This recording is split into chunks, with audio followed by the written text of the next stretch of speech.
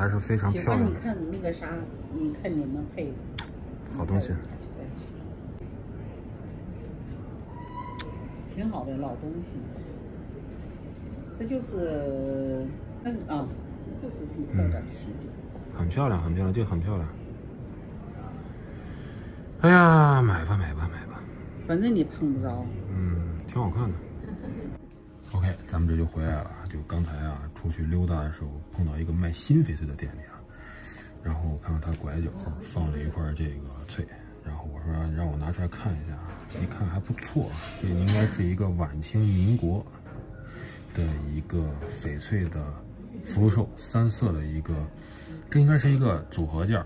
它这是个子母口，这面还有一半盖着，但是另一面遗失了。它当时在那个上面放着的时候是一个摆件啊，是一个摆件，这是一个翡翠翘雕的一个，这也不能算挂件，也不能算把件吧，它应该是一个组合件，但是少了一半，可是东西非常的不错啊。然后这个翠的颜色也很好。咱们我记得上次我收翡翠的时候也说过，过去人他们喜欢色啊，对种的要求应该没有像现在这么追求啊，因为。过去人追色，现在可能因为色不好找了，所以我们就追种。但是其实我们更喜欢又有种又有色的，对吧？但是过去可能就是偏这个色一点，这个颜色就不用说了，非常的好。有三种，你看一种绿色啊，一种这种黄翡啊，包括这边带一点点这种发褐色的这种翡啊，还是翠的颜色啊。这种东西特别的少见，我们一般把有三种颜色叫福禄寿。所以这个东西路分还是很高的，雕的工也非常好。翡翠这东西最流行的年代就是晚清民国了，为啥？就因为老佛爷喜欢，对吧？很多朋友问，哎，这你看落个乾隆，跟瓷器一样，你但凡见乾隆这俩字这个块，你八成都晚清民国。你说乾隆本年的有没有可能有？但是他那个工要比这个要精得多。我们怎么去看这个翡翠的欣赏？其实最重要就是它的这个线的这个阴线。你要认得它这个是老的驼痕，还是现代的机械痕迹？老的驼痕是很慢的，它那个线是接的，它是一条一条接的，它那个驼是这样一下一下一下接的，而且甚少有崩茬儿。新的那个工痕是歘一下很快，因为它是高速驼，很快。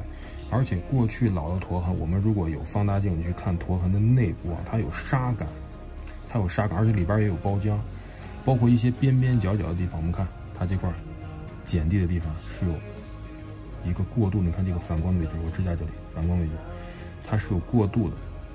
越往里边它越碱地，但是越往里它那个抛光的光感越不好，因为过去抛光的时候也用砂去抛，也用砂去抛，它那个旮旯拐角那个缝就抛不到。包括我们人使用盘玩的时候，或者是把玩的时候，或者是放到空气中氧化的时候，它也是凸起的部分会优先的氧化的。会更好点，光感会更强，但是它那个旮旯拐角会稍微的砂感强烈一点，就是会哑光一些。这也是个人总结的一些方法啊。再一个就是我们去看老的物件，它是有那个老气儿的，跟新的东西完全不一样。再一个，老公看起来很硬，很硬啊，但是不是那么的锋利啊，要硬，因为它是慢脱，它快不了，它都是一下一下脱出来的，它快不了。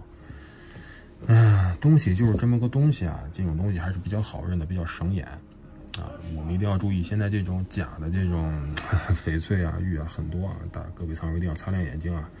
嗯，这种东西啊，还是得上一下镜子啊，还是得上镜子。有时候你拿肉眼去看的话呢，还是会有一些差异的，容易疏忽。你上镜子仔细去看的那个阴刻线，仔细去看那些犄角旮旯的地方啊，它一定是跟这个。新工是有区别的，包括它这个孔道的缝隙内也是有包浆的，内外包浆基本上都是一致的啊。如果一些新工，它的这个孔道里边会给你感觉很涩，它就是这种感觉。好吧，就是这么一件东西啊，买的很贵啊，这种东西不会便宜的。如果你花个几百块、一千多、两千买来，那这东西你就要打个问号了啊。OK，我是爱收藏的天元，喜欢我的视频呢，点赞加关注，我们下期视频再见吧，拜拜。